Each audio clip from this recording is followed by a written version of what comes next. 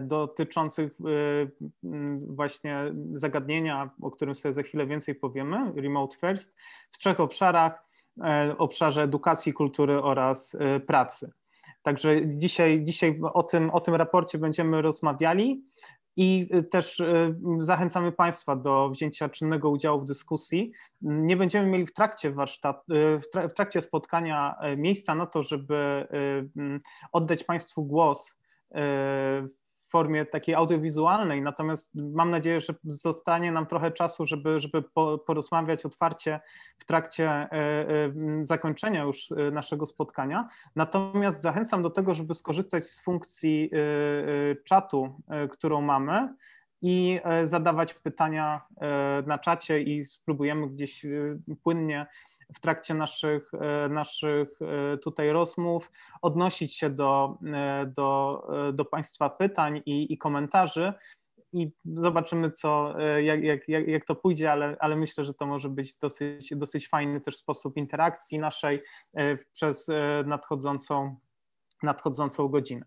Chciałbym bardzo serdecznie przywitać naszych gości, e, czyli Państwa. Chciałbym bardzo serdecznie przy, przywitać naszych prelegentów, prelegentki, e, e, którzy będą dzisiaj rozmawiali o raporcie. Zacznę od, od Magdy Gołębiewskiej, która jest naszą gospodynią i moderatorką. Także Magda będzie Cześć Magda, będzie, będzie, będzie, będzie, będzie moderować nasze dzisiejsze spotkanie. Jest z nami e, Kasia Droszczal. E, Kasia jest współzałożycielką agencji badawczej SELKI, współorganizatorką konferencji WUD Silesia, a także, co najważniejsze w dzisiejszym spotkaniu, jest współautorką raportu, e, o którym będziemy rozmawiać. Jest z nami Aleksandra Janus. Aleksandra jest dyrektorką Fundacji Centrum Cyfrowe i kierowniczką pracowni Otwierania Kultury. Jest z nami Aleksandra Trzetwertyńska, kierowniczka Spółdzielni Otwartej Edukacji Fundacji Centrum Cyfrowe. Oraz jest z nami Alek Tarkowski, Strategy Director w europejskim think tanku Open Future, również współautor raportu, o którym dzisiaj będziemy rozmawiać. Także bardzo serdecznie Was witam, e, witam gości raz jeszcze i e, chciałbym zacząć od takiego pytania. E, myślę, że to pytanie do Kasi skieruję, a później poproszę pozostałe osoby o uzupełnienie. Jakbyście mogli rozwinąć termin remote first? Co to, co to tak naprawdę jest? Jak, jak to definiujecie? Jak, jak, jak, jak możemy go rozumieć? E, dzień dobry wszystkim. E, tak, ja rzeczywiście może e, zacznę od wyjaśnienia tego terminu remote first, dlaczego on w ogóle znalazł się w naszym raporcie, dlaczego odgrywa tutaj ważną rolę. Sam termin pochodzi z obszaru pracy. Został ukuty mm, po to, żeby określić sposób funkcjonowania przedsiębiorstw zatrudniających pracowników przede wszystkim w trybie zdalnym. Więc w ogóle ten termin pojawił się w obiegu w słowniku klinikach e, jeszcze przed pandemią, e, no może niedługo przed pandemią, ale w takim w obszarze high-techowym e, był już dosyć długo używany jako właśnie taki sposób wyrażenia paradygmatu pracy, gdzie traktuje się priorytetowo zatrudnienie zdalne.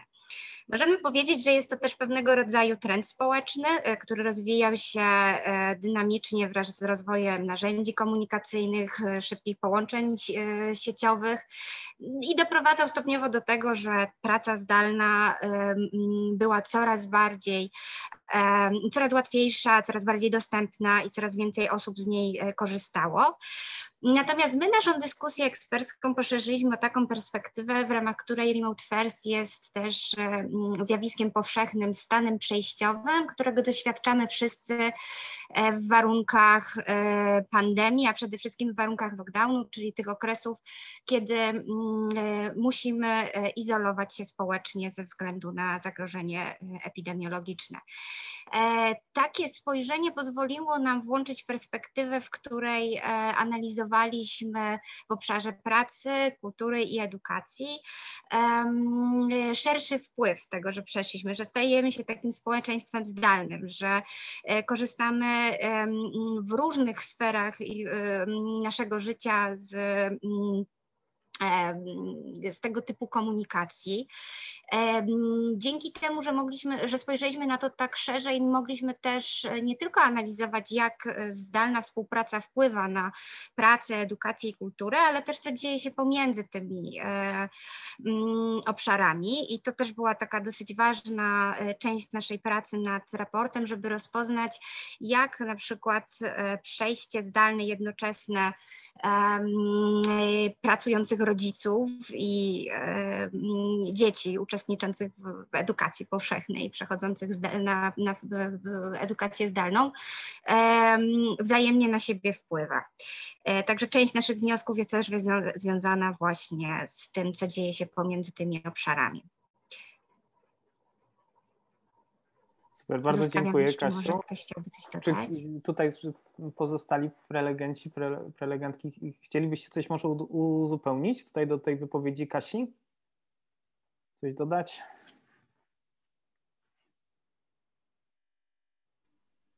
Może ja tylko jedną rzecz, bo wydaje mi się, i nie tyle pewnie dodać, co podbić to, co powiedziała mhm. Kasia, że chyba kluczowe tej naszej pracy nad tym raportem i jakby rozmowach wokół tego było to, że faktycznie to przenikanie się tych obszarów jest kluczowe mhm. i dopiero spojrzenie na nie właśnie jakby właśnie na nie akurat wszystkie łącznie, a nie, mm, a nie na poszczególne z tych obszarów, pozwoliło uchwycić te zależności, jakby które w sytuacji, w której się znaleźliśmy rok temu i w której trwamy w różnych odsłonach, ale jednak wciąż, e, pokazuje, jak to doświadczenie dotyka osoby w różnych rolach społecznych, prawda? W sensie mhm. osoby pracującą zdalnie, osoby jako rodzic, czy osoby na przykład, która jest rodzicem, pracuje zdalnie i pracuje w instytucji kultury albo jest artystą, czy coś w tym stylu. I myślę, że to było coś, co co było ważne i ciekawe w tych dyskusjach, które toczyły się wokół tego raportu. Czyli można powiedzieć, że e, nie można, czy trudno jest e, rozmawiać o jednym obszarze remote first, e, wyłączając wszystkie pozostałe obszary, czyli że musimy się skupić na takim holistycznym ujęciu całego zjawiska pracy czy, czy komunikacji zdalnej, w momencie, w którym, e, w którym e, mamy do czynienia z globalną e, zmianą, jeżeli chodzi o, o, o sposób interakcji społecznych i, i też takiego funkcjonowania i społecznego, i gospodarczego.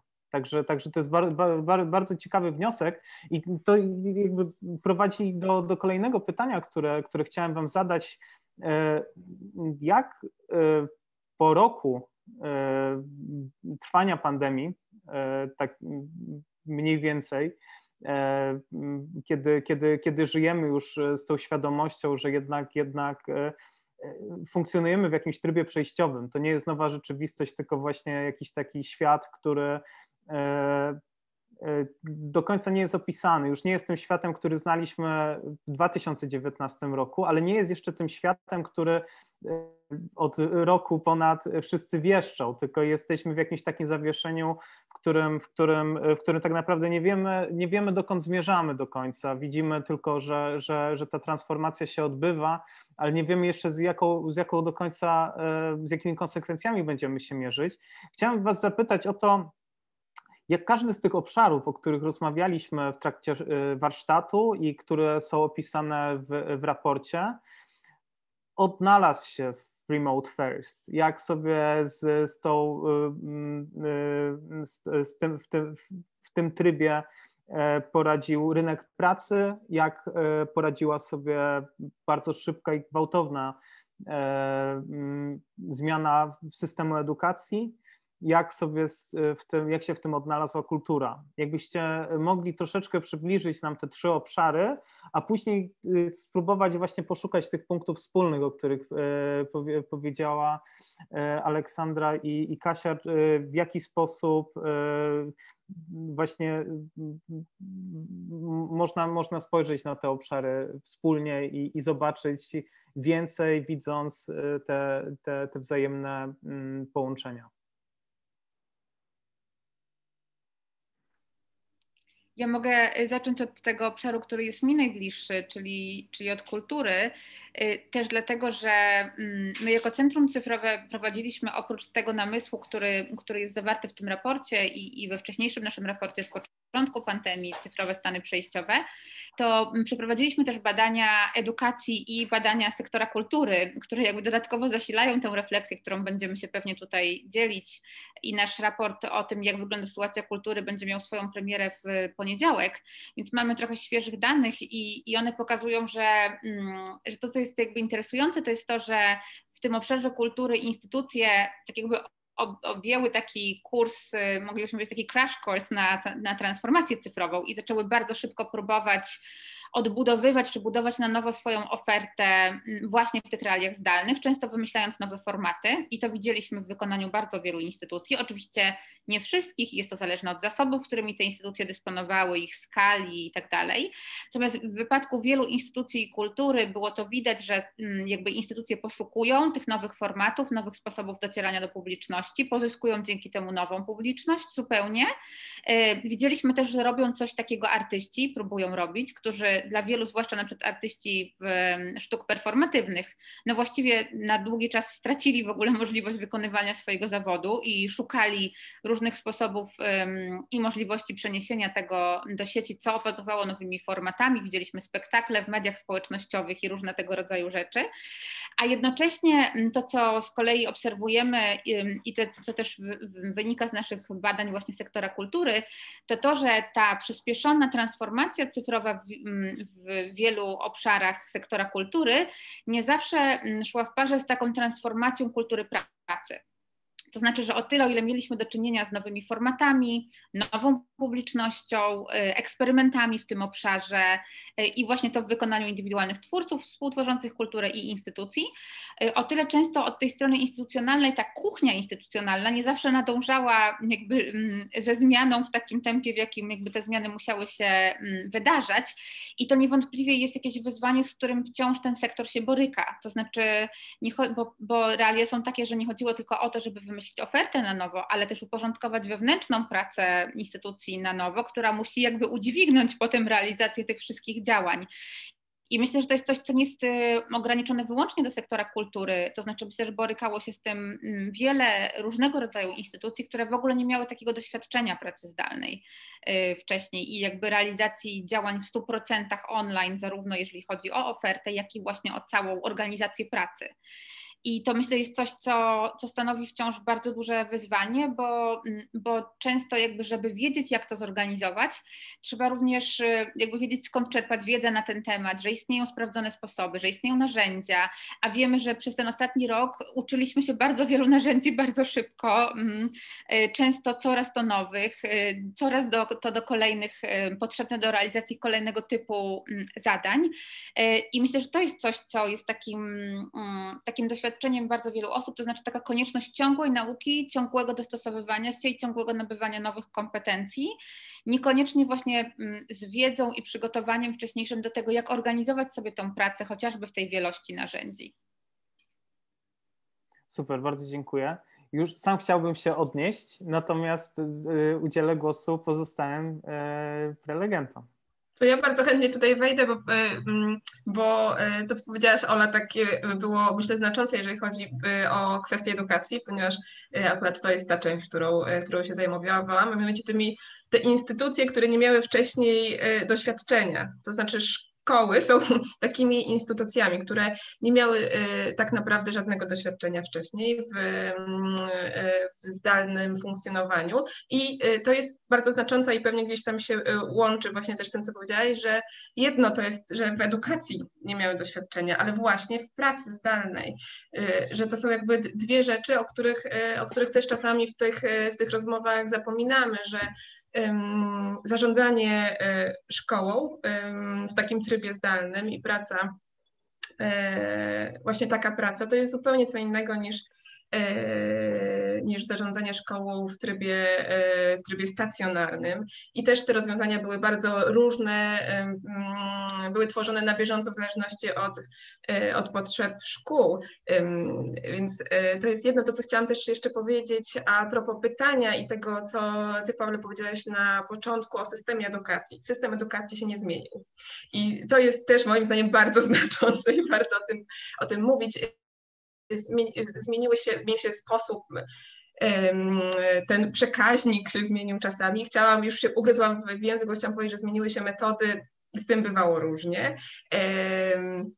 Bardzo wielu nauczycieli oczywiście starało się, albo nie starało, tylko robiło to, czyli wykorzystywało nowe metody, które się, które się sprawdzały w, w edukacji, sprawdzają właściwie e, nadal w edukacji zdalnej, ale nie jest nie jest to w żaden sposób uregulowane systemowo i mm. myślę, że to też jest jakiś, jakaś e, sytuacja, o której warto powiedzieć, bo to, co też nam wyszło w badaniach i i się gdzieś tam powtarza i czego bardzo brakowało akurat w tym, w tym sektorze, to właśnie takiej podstawy, to znaczy nie mówię tu o podstawie programowej, a raczej o takiej bazie, na której nauczyciele mogliby pracować i mogliby się czuć pewnie.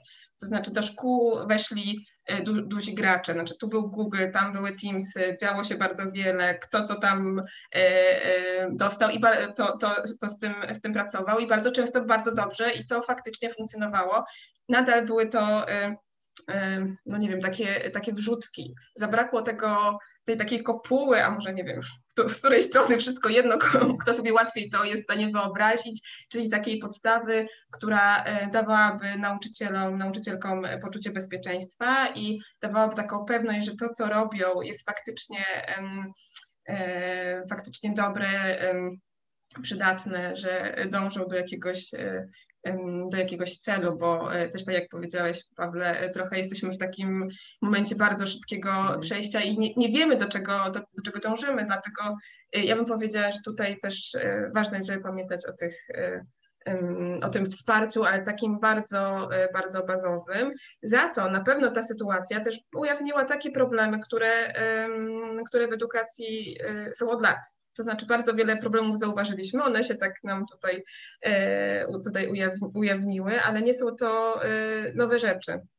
To, że program jest przeładowany, to, że nie wiem, uczniowie uczestniczą w lekcjach, ale nie uczestniczą. To jest chyba jeden z moich ulubionych e, przykładów, ci tacy wirtualni wagarowicze, których nagle, nagle rodzice zauważyli, że dzieci robią inne rzeczy w czasie lekcji. Tak jakby te 30 dzieci, które siedzą, czy tam na nastolatków w klasie, wszyscy tak po prostu przyjmowali tę wiedzę. No więc tak nie było, tylko akurat nikt tego, e, e, nikt tym tak bardzo się nie, e, nie przejmował, więc dużo z tych z tych sytuacji po prostu zostały się bardziej, bardziej widocznych. Ja w ogóle mam takie tendencje, żeby patrzeć E, wyszukiwać plusy niż e, a nie, nie, nie szukać minusów, więc ja uważam, że to jest jakiś, jakiś dobry przyczynek do, do dyskusji, jak to, jak to zmienić. Super, bardzo dziękuję Olu. I też bym się chciał odnieść, ale e, jest jeszcze Kasia i Alek z nami, którzy na pewno, na pewno odniosą się i też jeszcze przedstawią jedną perspektywę, o której rozmawialiśmy na warsztacie. Alku, może Ciebie poproszę o, o głos. Ja akurat przyznam się, że zgodnie z planem szykuję się na wypowiedź końcową. Okej, okay, przepraszam w takim razie. Ale Kasia, oddaję Tobie nasz wirtualny mikrofon. Jasne, dzięki. Um, ja myślę, że tak powiem e, trochę więcej takich ogólnych rzeczy. Znaczy jeszcze e, nawiązując do tego, e, co powiedziała Ola o edukacji, ja sobie jeszcze przypomniałam to, co powiedział do nas e, profesor Pyżalski, bo mieliśmy też możliwość e, dyskutować o edukacji na IGF-ie e, i, i, i naszym panelistą był profesor Pyżalski. On powiedział, że w końcu sobie uświadomiliśmy, że technologia w edukacji to nie jest ten silver bullet, który po prostu rozwiąże wszystkie problemy. I ja myślę, że bardzo podobnie jest w tym przejściu um, na tryb zdalny w ogóle w wielu organizacjach, instytucjach, gdzie okazało się, że te narzędzia są dostępne, one często były e, wykorzystywane już od lat, ale trzeba znaleźć nowy sposób zarządzania. I e, te problemy, które my tutaj rozmawiając o obszarze pracy e, staraliśmy się wyłonić, często były związane no przede wszystkim z takim dosyć oczywistym problemem, że gdzieś została zaburzona granica pomiędzy życiem osobistym i życiem zawodowym pracowników.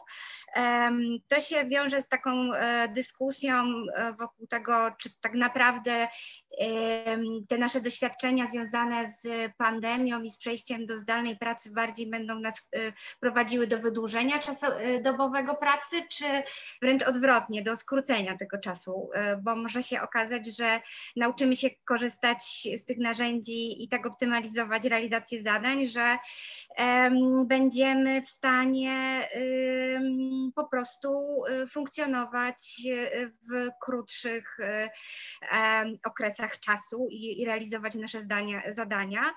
E, no ale to nie jest takie proste. Tak? Z drugiej strony się okazuje, że właśnie gdzieś e, trudniej jest e, i brakuje nadal bardzo, brakuje standardów dotyczących właśnie zarządzaniem czasu, czasem pracy pracowników, którzy wykonują swoje zadania w domu.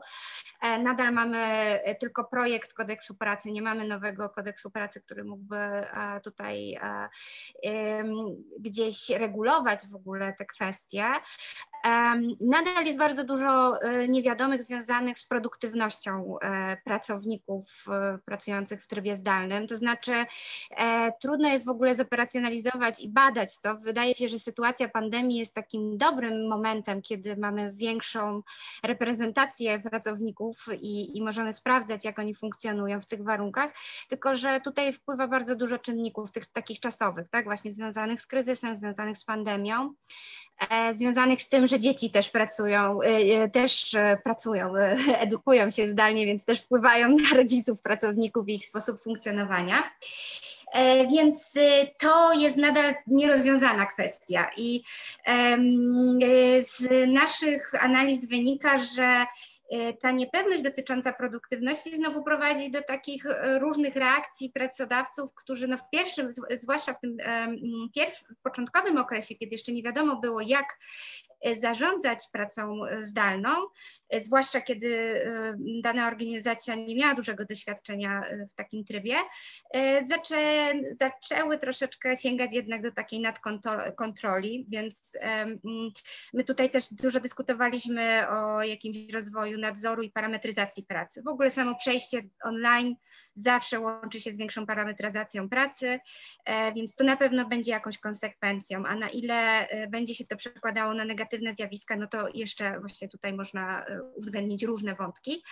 No i taki e, szerszy e, problem, który na pewno pojawia się we wszystkich organizacjach, we wszystkich instytucjach, to jest kwestia tworzenia kultury organizacji, kiedy na pracownic, większość pracowników jest w tym trybie w Y, oddalonym, można powiedzieć, od, od instytucji. Dawne kanały transferu kultury organizacji e, już nie działają.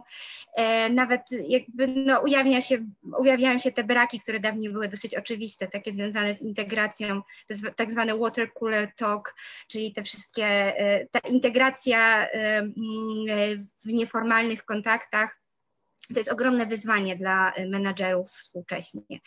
E, więc to są takie dosyć szerokie wątki. Ja myślę, że teraz Paweł, jak jeszcze pociągnie dalej naszą dyskusję za te kolejne pytania, to będzie okazja, żeby powiedzieć, jak to się przekłada na różne ryzyka i na różne y, szanse też i, i, i możliwości, co zresztą tutaj e, Ole e, zaznaczyły, że one się pojawiają te szanse i mam nadzieję, że optymistyczne wątki też będziemy w stanie rozwinąć. Tak jest, dokładnie. Tak, to przejdźmy do, do, do, do pytania kolejnego, które właśnie tutaj Kasia już troszeczkę zapowiedziała. To przejście do świata cyfrowego to jest y, też zanik wielu mm, takich wartości, możliwości interakcji bezpośredniej, spłycenie naszej interakcji międzyludzkiej do poziomu takiego czysto audiowizualnego, do, do płaskiego ekranu.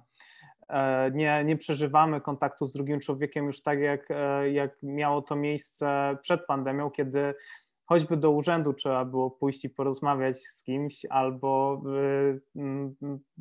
chyba największą taką ofiarę, ofiarą są dzieci teraz, które, które jednak w zupełnie inny sposób komunikują się z rówieśnikami, czy spędzają czas w nadmiarze przed, przed komputerami, przed, przed monitorami.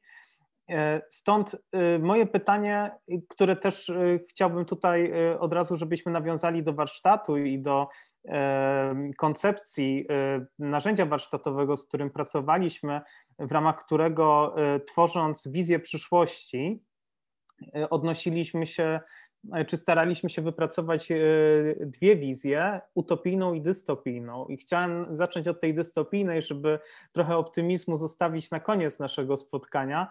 Stąd e, takie pytanie, jakie zagrożenia zdaniem uczestników warsztatu, waszym zdaniem, niesie ze sobą Remote First?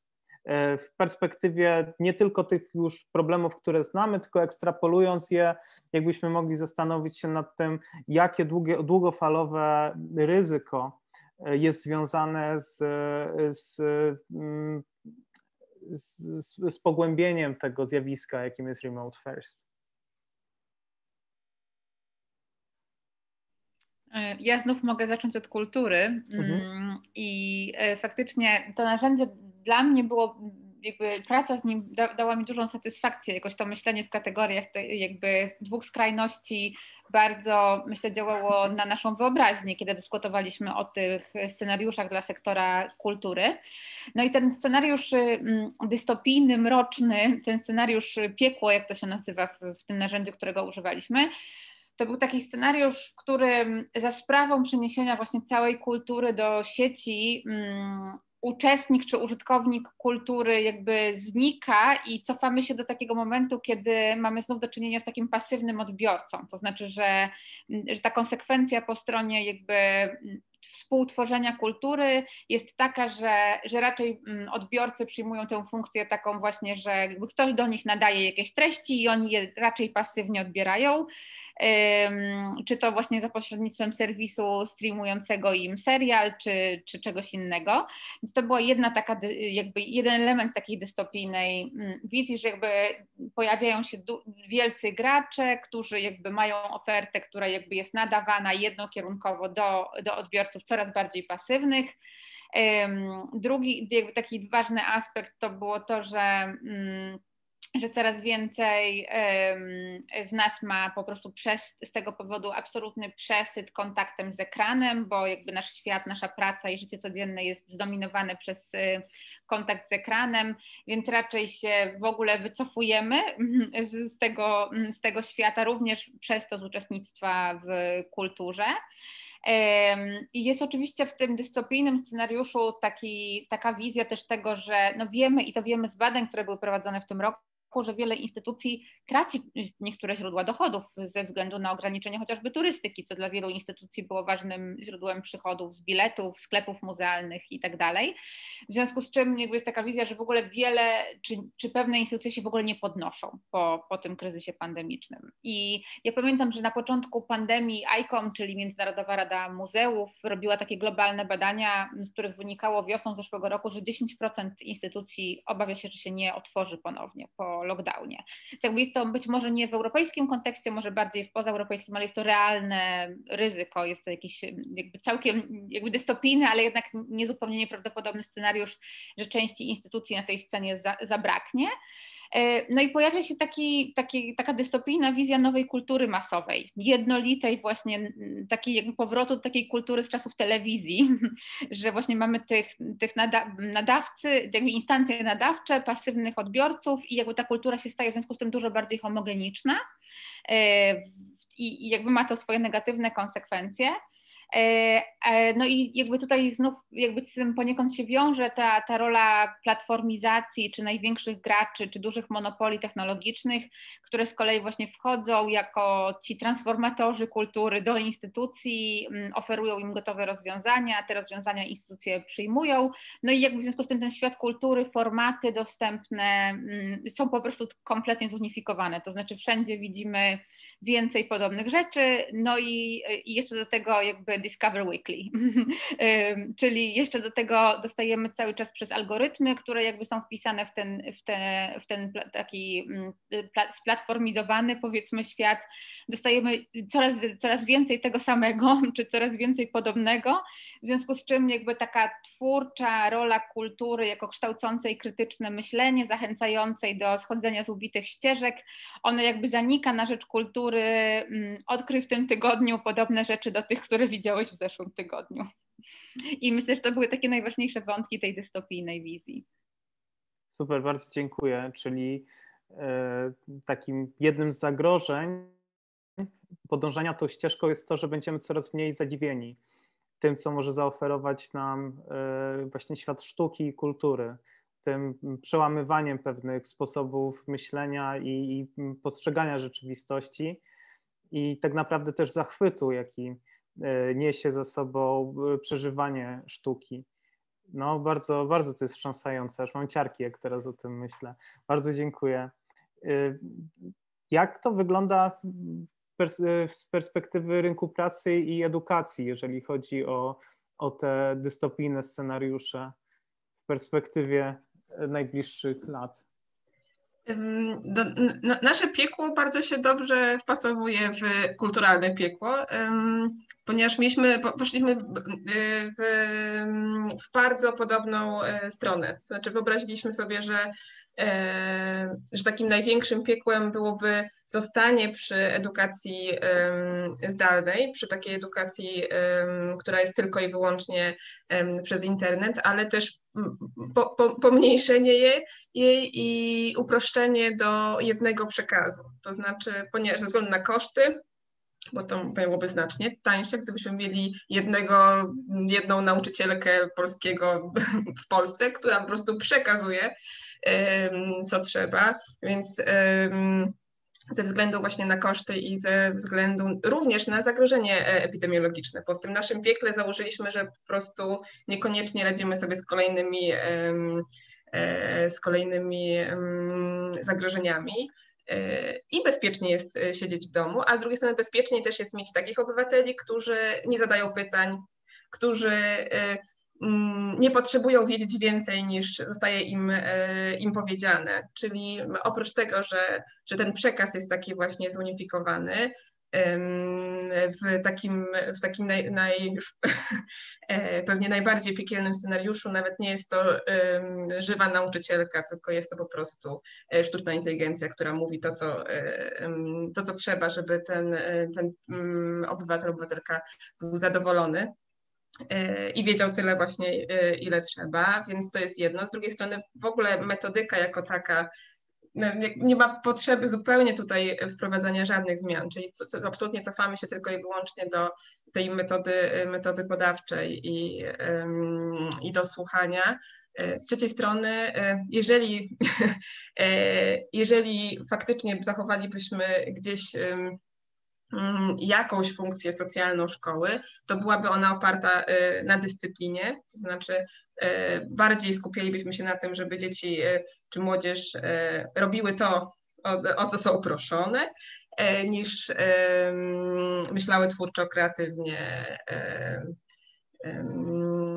i żeby ta wiedza miała jakiś, jakiś inny wymiar niż to, co, niż to, co niż to, czego się od nich, e, od nich wymaga, więc to jest to.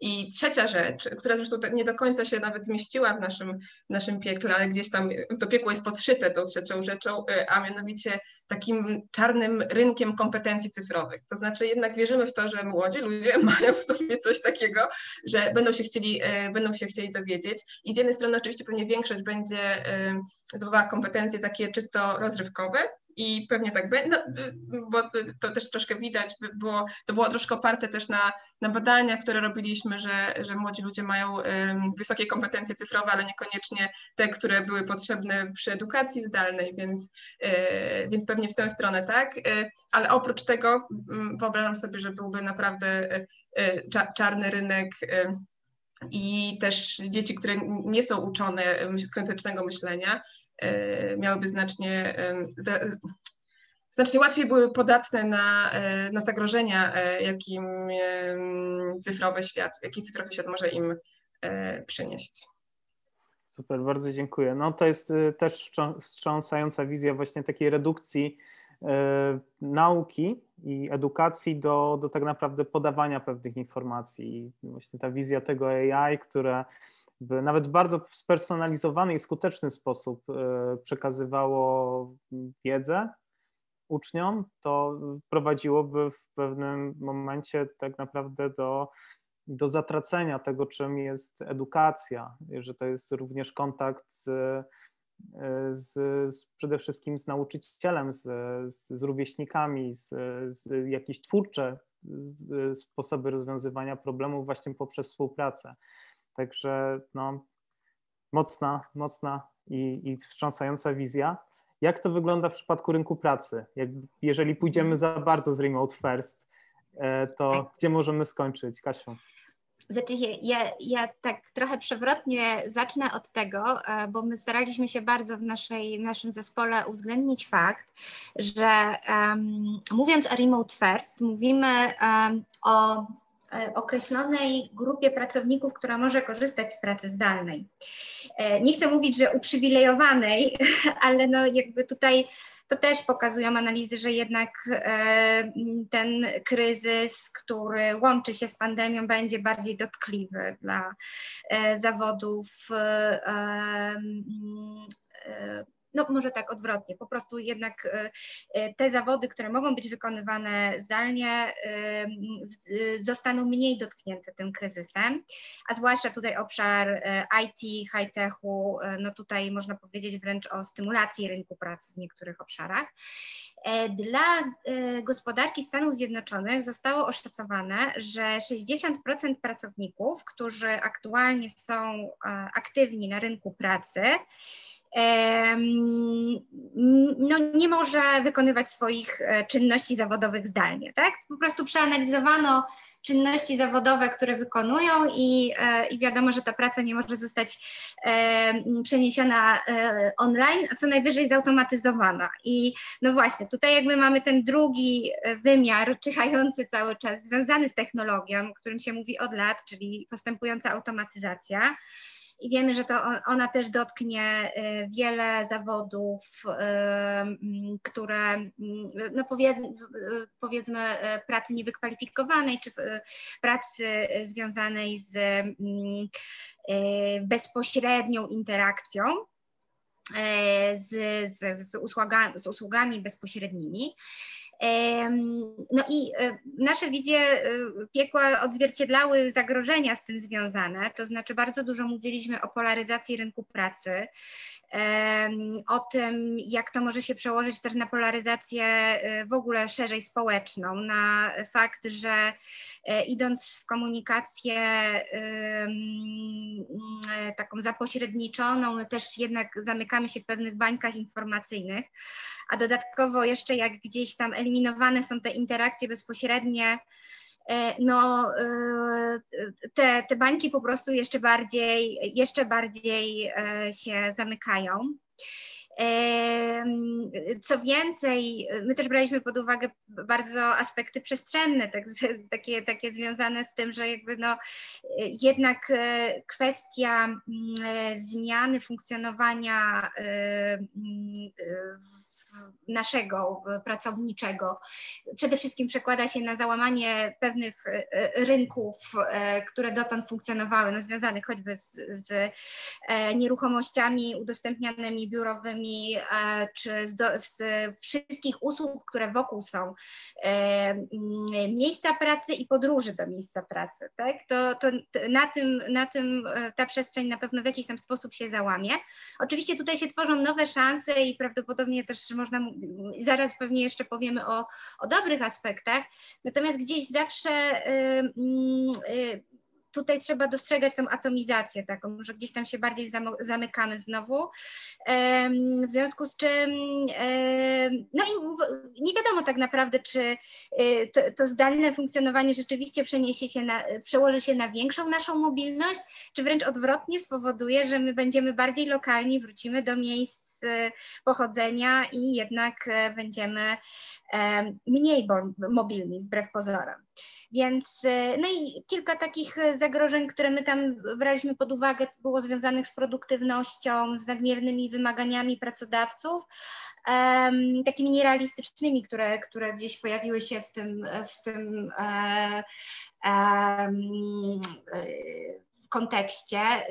I to, to nie tylko jest nasza wizja, bo, bo w ciągu ostatniego roku E, pojawiło się, e, pojawiła się wizja i była opisywana nowego tayloryzmu, zoomizmu, tak, który jest związany z, z tym, że przekraczane są pewne granice, e, związane z mm, dostępem do naszego czasu mm, i, i wymagań pracodawców nadmiernego.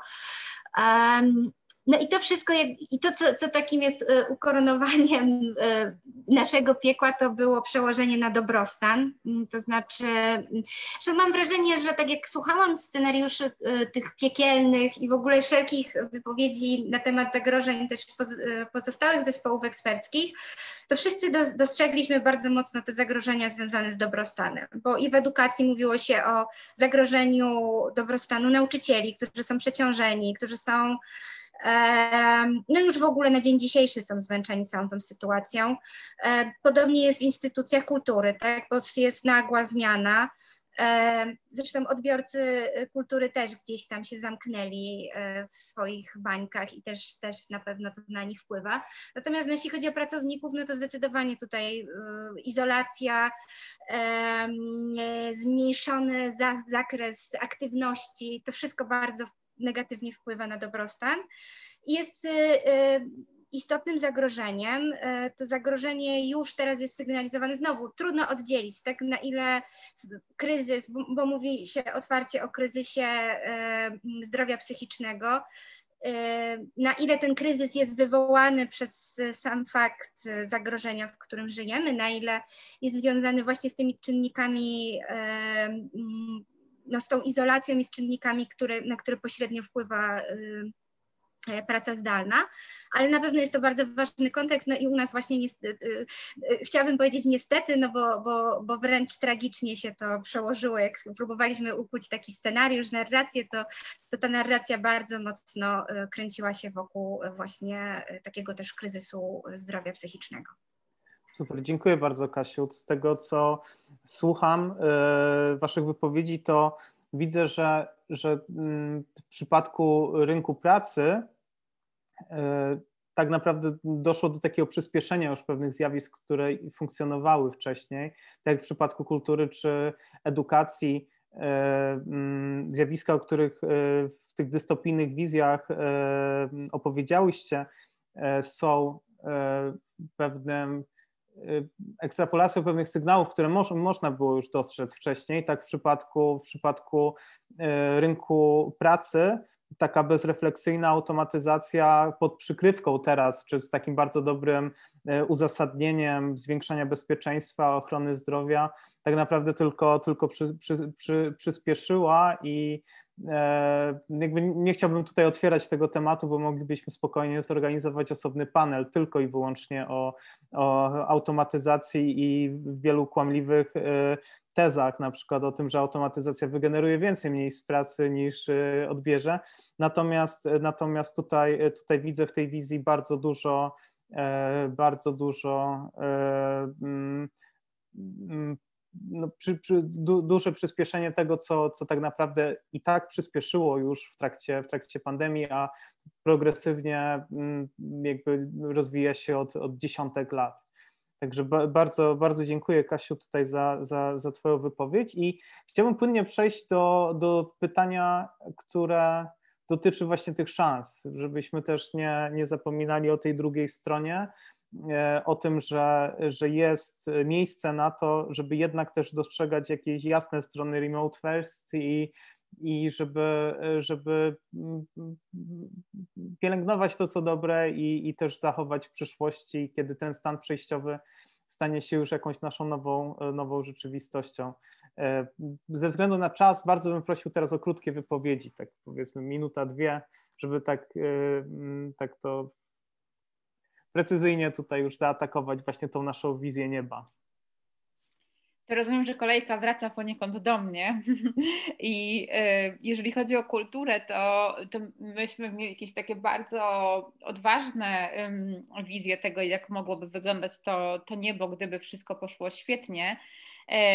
I, I takim naszym jakimś ważnym elementem tej wizji E, było to, że jakby poprzez tę sytuację jakby postępuje mm, demokratyzacja kultury, ale też jakby popularyzuje się taka kultura włączająca, to jest jakby prostym rewersem tego, tej wizji piekielnej, o której mówiłam, że coraz więcej ludzi zaczyna eksplorować swoje pasje i uczestniczą w kulturze jako twórcy a nie bierni konsumenci i to się wiąże z większą inkluzywnością. Y, oferta kulturalna jest większa, jest bardziej zróżnicowana i każdy świadomie wybiera to, czego potrzebuje i, i też, że ta kultura poprzez to y, jest, y, jest coraz bardziej emancypacyjna, to znaczy staje się narzędziem, dzięki któremu grupy zmarginalizowane czy nieuprzywilejowane y, znajdują forum, zyskują większy głos, większą widoczność i jakby realizują i jakby opowiadają o sobie mm, na szerszym forum. E, I to się wiąże też z takim przeformułowaniem, mm, dal, czy jakby dalszym przeformułowaniem, bo to się niewątpliwie już teraz jakoś dzieje, takiego, takiego, takiej definicji roli i misji instytucji kultury, to znaczy zwycięża taka wizja, w której te instytucje to jakby są przede wszystkim instytucje działające w służbie społeczeństwa i jego rozwoju i, i jakby w związku z tym technologie, których używają, transformując się cyfrowo, też są przede wszystkim nastawione na dobro społeczne i dobro ludzi, a nie na przykład zyski dużych y, monopoli technologicznych. E, co jakby oznacza, że nie zwycięża ta wizja profilujmy użytkowników, wykorzystujmy algorytmy, żeby dawać im jeszcze więcej tego, co już jakby lubią i co już znają, tylko raczej taka wizja, że twórzmy technologię z człowiekiem w centrum, mm, żeby pomóc właśnie tej, tej różnorodnej, emancypacyjnej kulturze mm, e, się jakby rozwijać i, i poszerzać swoje zasięgi. Była też taka, mm, takim elementem tej wizji było też takie przełamanie kryzysu wyobraźni, to znaczy instytucje odgrywają w tej wizji taką kluczową rolę jako, mm, jako takie laboratoria wykuwania nowych scenariuszy i nowych pomysłów, także wobec kryzysu mm, klimatycznego. I może tu postawię kropkę. Super, bardzo dziękuję. Olu, jak Tak, u nas y, ten rewers wygląda e, tak, że od tej unifikacji do e, indywidualizacji, ale e, postawiono na, też skupionej na współpracy tak naprawdę, czyli że w centrum edukacji stawiamy tych, którzy się uczą, a nie tych, którzy uczą, że eliminujemy nauczanie, a skupiamy się jednak na uczeniu, że ci, którzy się uczą, są też uczeni, jak się uczyć od początku. Mm, e, stawiamy też na konektywizm, na to, żeby zwracać uwagę e, e, po co i dlaczego się uczymy i co z tego wynika, czyli że też no, po prostu ta edukacja ma, ma jakieś przełożenia, nie jest oderwana od rzeczywistości, ale też taką ważną częścią jest po pierwsze zaufanie między nauczycielami a uczniami i w ogóle takie budowanie zaufania i zrozumienia w, w systemie edukacji i, i dialog, to z jednej strony. E, I to się też udaje ze względu na to, że nauczyciele dostają znacznie większą autonomię i e, mają szansę na, na realizację mm, no tak, na, na, na, na prawdziwe uczenie swoich, e, swoich podopiecznych, na bycie takimi mentorami, tutorami, a niekoniecznie, bardziej przewodnikami, tak, a niekoniecznie osobami, które po prostu przekazują, e, przekazują wiedzę. I myślę, że, e, że ja mogę już nawet tutaj postawić kropkę, bo to są takie najważniejsze rzeczy, które, które nam wyszły w czasie, mm, w czasie tworzenia nieba. Super, bardzo dziękuję Lukasiu. E, tak, to ja nawet tutaj nawiążę, bo Karol Piekarski zadał bardzo ciekawe pytanie, czy braliśmy pod uwagę w badaniach nasze relacje ze światem podczas po pandemii i, i czy nie podróżujemy, ale teoretycznie mamy szerszy dostęp do globalnej kultury, rynku pracy, to ja postaram się tak częściowo odpowiedzieć na to pytanie, pewnie później jeszcze będzie okazja, żeby pociągnąć ten wątek. Na pewno jest już teraz widoczna, widoczny taki efekt sprawiedliwości geograficznej w obszarze pracy, tak? To znaczy, rzeczywiście tak nawiązując do tego, co zapytałeś o tą dostępność, e, to e, w obszarze pracy, ale myślę, że w obszarze kultury pewnie też podobno można by gdzieś podobne określenie ukuć tej sprawiedliwości geograficznej, e, tego, że E, w końcu e, każdy e, mieszkaniec mniejszych miast, mniejszych miejscowości, każdej, każdego miejsca w zasadzie na naszym globie ma dostęp do rynku pracy w zasadzie, no bo nie powiem nieograniczony, ale to, się, to, to rzeczywiście się odsłania. I my tak myśleliśmy w takich kategoriach, tworząc naszą wizję nieba, że mm, wychodząc od tego, co realnie się dzieje, bo rzeczywiście tą sprawiedliwość geograficzną już e, notuje się aktualnie, że to się przekłada na oferty pracy i dostęp do pracy, e, to jednocześnie zaczęliśmy myśleć też o, o takiej właśnie drugiej stronie, jeżeli firmy stają się niematerialne, jeżeli ta kultura organizacyjna staje się taka mniej namacalna, to jednocześnie to daje większe szanse dla transparentności, e, czyli e, pracownicy mogą e, w bardziej mm, wymagać od pracodawców pewnych, pewnych mm, standardów. I ta transparentność przekłada się też na taką szerszą perspektywę związaną z kryzysem klimatycznym, z tym jak nasi pracodawcy wpływają w ogóle na świat, jak wpływają na nasz właśnie dobrostan i, i gdzieś to, co się pojawiło w naszej wizji, to to, że mm, oprócz tej takiej presji na pracownika pojawia się też ta druga strona, taka presja na pracodawcy, tak? I to, co, co już teraz w pandemii się pokazuje, to na przykład to, że, to znaczy to, czego możemy doświadczyć e, jako taki pozytywny efekt, e, to na przykład e, ograniczenie podróży służbowych, czy w ogóle tego takiego nadmiaru, który, który nam wcześniej towarzyszył, tak?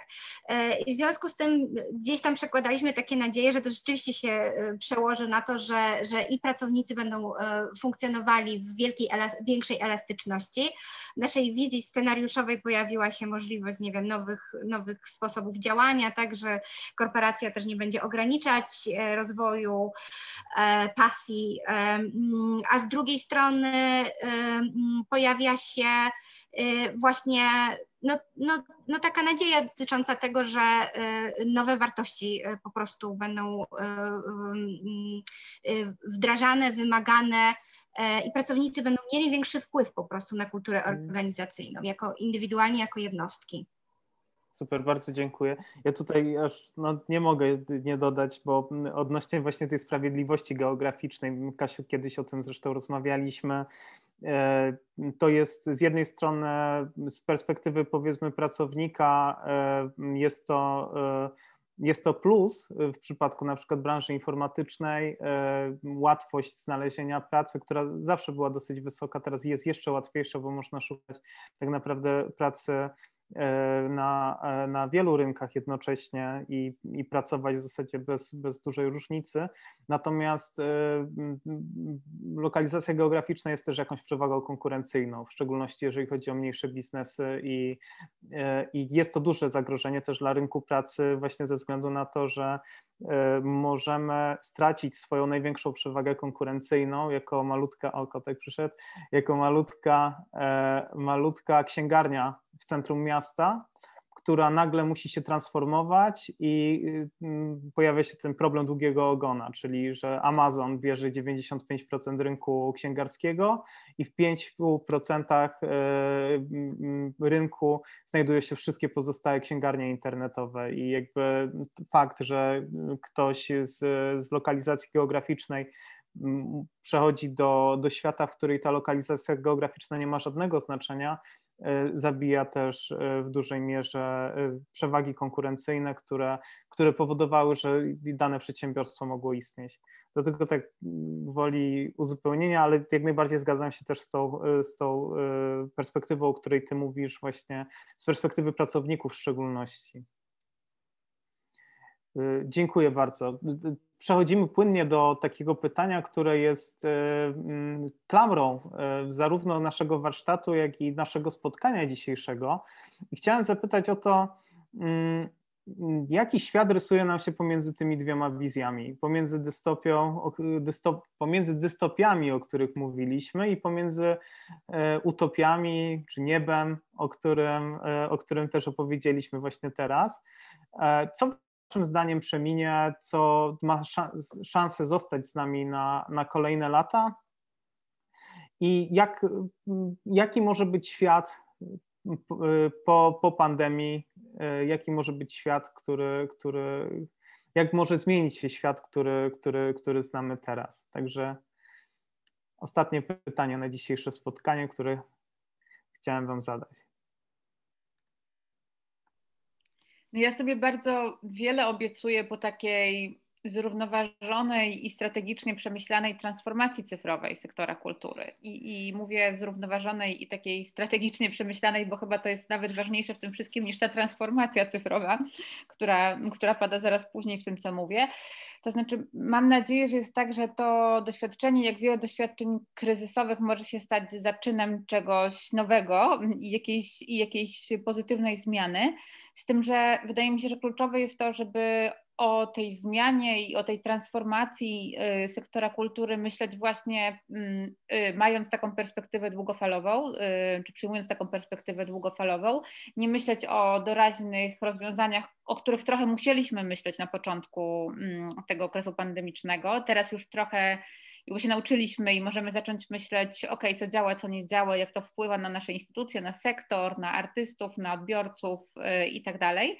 I, mm, I takiej transformacji cyfrowej tego sektora, która właśnie po pierwsze jest oparta o jakieś takie, o taką mm, dobrze pomyślaną społeczną odpowiedzialność i misję mm, sektora kultury, o, mm, o takie rozpoznanie potrzeb odbiorców, uczestników kultury, y, ale także jej współtwórców, takich jak artystów, choć nie wyłącznie.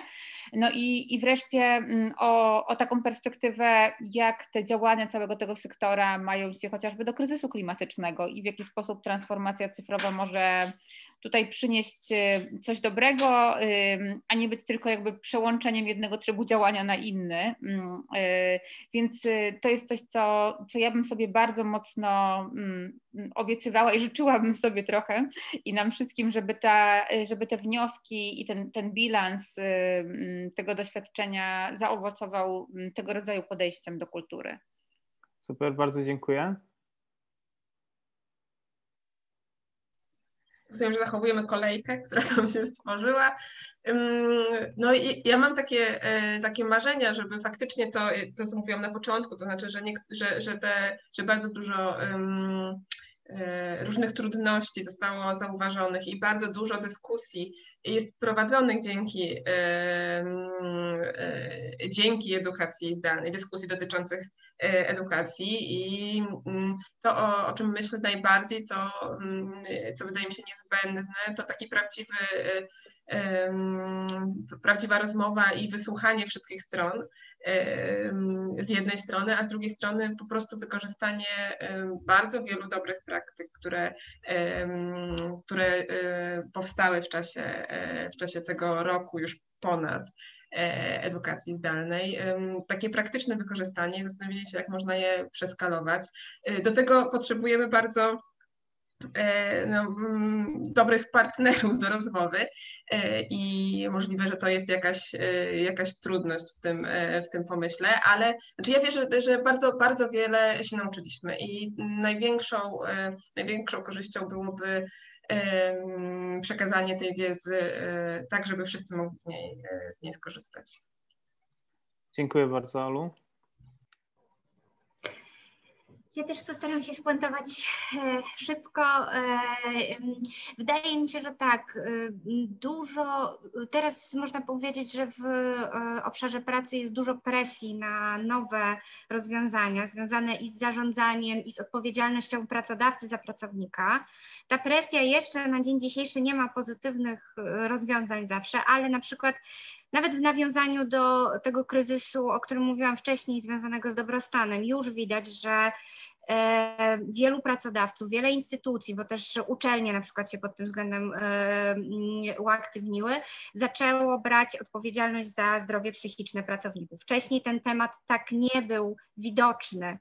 E, wiele korporacji zaczyna wprowadzać, e, zresztą w, w ramach pandemii wiele korporacji, do, nawet e, e, bank ING, z którym się znamy, wprowadził takie narzędzia jak infolinia anonimowa dla pracowników, którzy mogli skorzystać po prostu z wsparcia psychologa anonimowo. Tak? Są takie narzędzia, które się pojawiają E, i e, one teraz mm, jakby e, znajduje się dla nich miejsce i wydaje mi się, że to z czasem te problemy, które teraz ujawniły się w kontekście pandemicznym i w związku z pracą zdalną, z izolacją mm, i, i, i z konsekwencjami tej izolacji, będą powodowały, że z czasem pewne praktyki i standardy się utrwają. Więc to jest taka, myślę, że bardzo duża nadzieja i pozytywny element. Wydaje mi się, że też nawet tak jeszcze puentując to, co mówiliśmy wcześniej o tej sprawiedliwości geograficznej i o tej nowej presji, nie wiem, na, związanej z, z rolą dużych miast, kulturą w dużych miastach, tak? jeżeli e, zmniejszy się rola dużych miast, to zwiększy się rola mniejszych miast, lokalności. I to też wnosi nową nadzieję i mam nadzieję, e, tak optymistycznie kończąc, że e, mm, tu też wyłania się nowy trend, który będzie doprowadzał do tego, że ta praca zdalna przyszłości przełamuje też wiele barier. E, więc nie wiem, jeszcze nie mam danych tutaj, czy, e, czy bo Karol jeszcze dopytywał, czy e, ta sytuacja ze sprawiedliwością geograficzną, czy, czy rynek pracy nad, nadąża z wynagrodzeniami na przykład, tak? Tutaj nie, nie mam niestety takich danych, ale podejrzewam, że to jest kwestia. Kolejnych lat, które, tak jak Paweł zaczął zresztą od tego wprowadzenia, że jesteśmy nadal w stanie przejściowym i my wiele wniosków wyciągamy, po to tworzymy tę wizję, żeby zauważyć, jakie są ryzyka, jakie są te bieguny.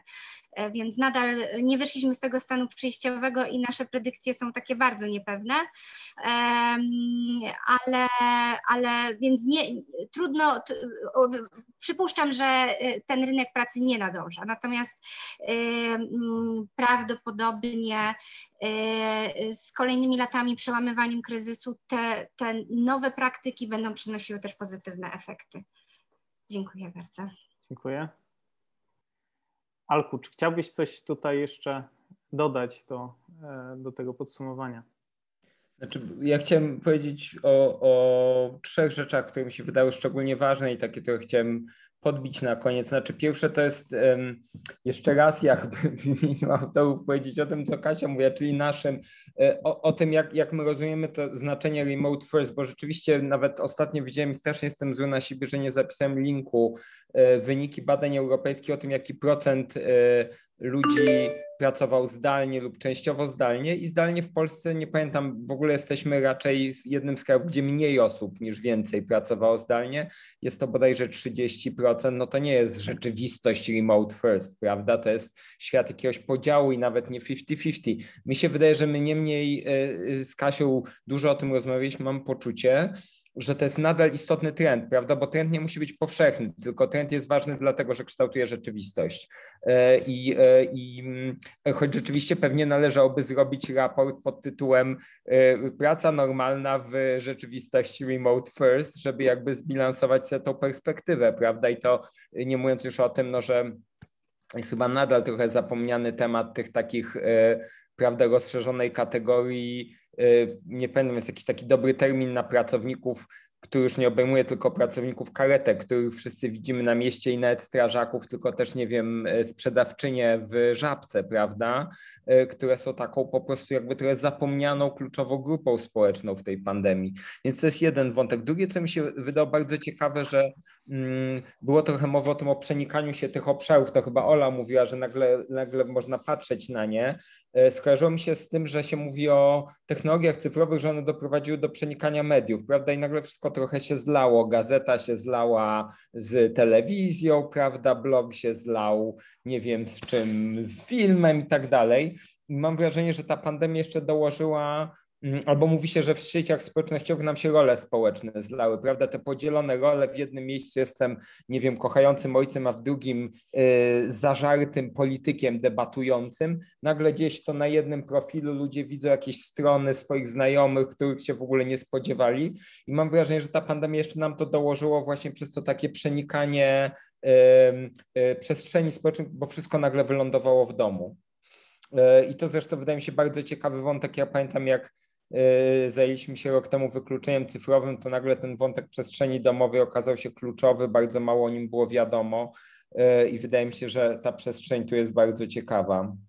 Ostatnia rzecz, którą chciałem powiedzieć, to jest rzeczywiście yy, taki moment, że można sobie zadać pytanie, co z tego zostanie.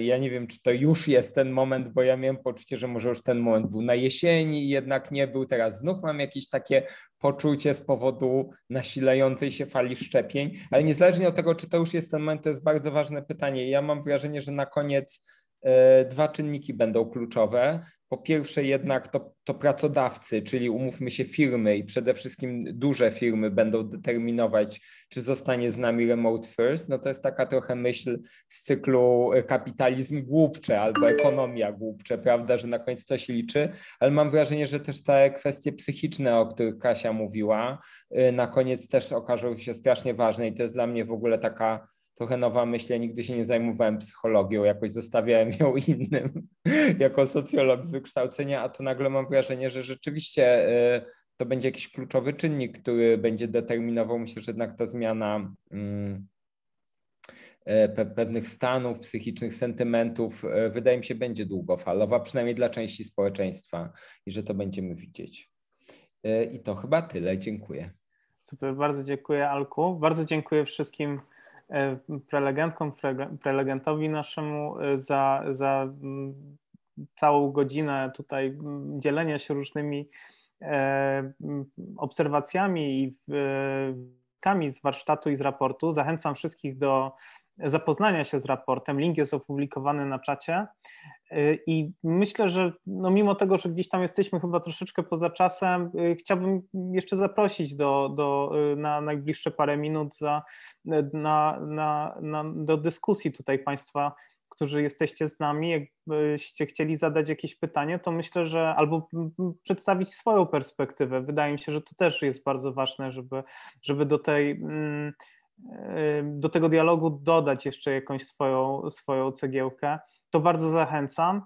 I, I, proszę włączyć mikrofon, kamerę. Chyba jest taka możliwość na Zoomie, więc, więc no, śmiało otwieram dyskusję.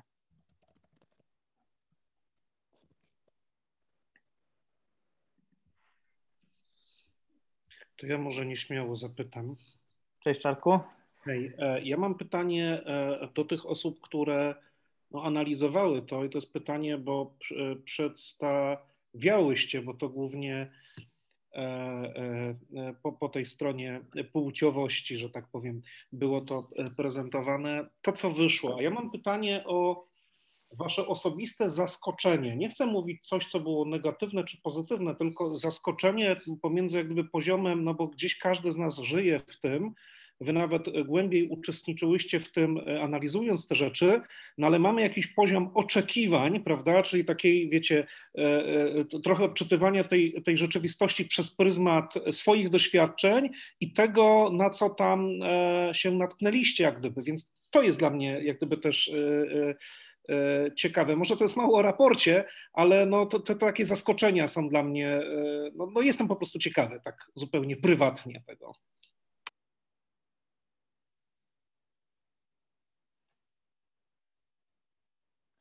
Wybaczcie, ja nie będę wskazywać osoby, która ma się wypowiedzieć. Ja, ja może mogę powiedzieć o jednej rzeczy, która dla mnie w w wielu tych dyskusjach, które teraz toczymy na ten temat y, jak ta sytuacja na nas wpływa i jak wpływa na sektor kultury, którym ja się najbardziej, najintensywniej zajmuję, to co dla mnie było zaskakujące, to akurat jakby jakoś tam się pojawia w naszym raporcie, chociaż konkretnie wyniki badań, które teraz przytoczę są z tego raportu o kulturze w pandemii, który będzie miał premierę w poniedziałek. Dla mnie było szokujące, jak, jak z tych badań wyniknęło nam, i oczywiście to nie są badania na reprezentatywnej próbie, tam były ankiety i fokusy, ale już jakby w tej grupie przebadanych przez nas pracowników instytucji kultury okazało się, że pomimo postawienia na pracę zdalną, online, różne narzędzia, dla, mm, dla wielu z tych osób pracujących w sektorze kultury dominującym narzędziem wykonywania pracy zdalnej był telefon to znaczy dzwonienie. E, I to jest coś, co, co dla mnie, mm, i ewentualnie wideokonferencja, ale nie na przykład narzędzie do zarządzania zadaniami, mm, nie różne tego rodzaju inne, tylko raczej jakby różna forma rozmowy, tylko że na odległość, która jest przeniesieniem tak naprawdę w realia tej, tych ograniczeń po prostu spotkanie. E, I często te rozmowy były bardzo długie, o czym mówiły te osoby. Czyli to nie jest tak, że to jest 45-minutowe spotkanie na Zoomie, tylko na przykład 3-godzinne e, obrady na Zoomie. E, I to jest coś, co dla mnie było, ja powiedziałam, szokujące, dlatego że ja wiem, jakie to jest męczące po tym roku. I jak sobie wyobraziłam te, te długie spotkania na Zoomie i rozmowy wsparte przez rozmowy przez telefon, to zdałam sobie sprawę z tego, że, mm, że faktycznie to prawdopodobnie i to też wynikało nam z tych rozmów, jest tak, że y, w tych instytucjach nie stosowano narzędzi do zarządzania zadaniami i takich narzędzi organizujących pracę i komunikację. E, w inny sposób, w związku z czym e, forma rozmowy głosowej z kamerą lub bez niej była dominująca i, i jakby dla mnie to było zaskoczeniem, dlatego że ja po tym roku czuję, że, mm, że Zoom fatigue jest absolutnie realnym problemem, z którym na pewno ja się mierzę i wiem, że wiele mm, osób, które znam, więc wyobrażenie sobie tego, że ja odbywam tych spotkań jeszcze więcej albo one są jeszcze dłuższe, to w ogóle jest jakaś tortura po prostu zupełna, więc, więc to jest taka rzecz, którą ja osobiście mogę się podzielić. Dziękuję. Czy mm, Alek, e, Ola, Kasia? Mhm. Ja jeszcze mogę dodać, bo mnie to towarzyszy od e, naszej pracy nad pierwszym raportem, nad e, cyfrowymi stanami przejściowymi. To, co mnie cały czas zaskakuje, to właśnie to, że mm, tak dużo e, takich pewnych predykcji się pojawia i w ogóle takie wyczekiwanie na tą nową normalność. W ogóle od, pierwszego, od pierwszych naszych analiz, to z czym się spotykaliśmy, to, e, a to było na wiosnę zeszłego roku, tak, zaczęliśmy naszą pracę. Już wtedy dużo się mówiło o nowej normalności, tak, i tak naprawdę bardzo dużo y, opinii. No, z jednej strony jesteśmy pod wpływem, e, no, chciałabym, żebyśmy my jako badacze mogli z taką pewnością jak Bill Gates wypowiadać się, że na pewno będzie tak a tak, bo to mnie też trochę rozbawiło, bo bezpośrednio przed naszym warsztatem właśnie o Remote First Bill Gates ogłosił, że ponad 50% podróży służbowych i ponad 30 dni w biurze zniknie, tak? I on to ogłosił i wszyscy to cytowali, to się pojawiało w nagłówkach i łatwo jest ulec takiemu wrażeniu, że rzeczywiście no jest, są jakieś dane, które wskazują,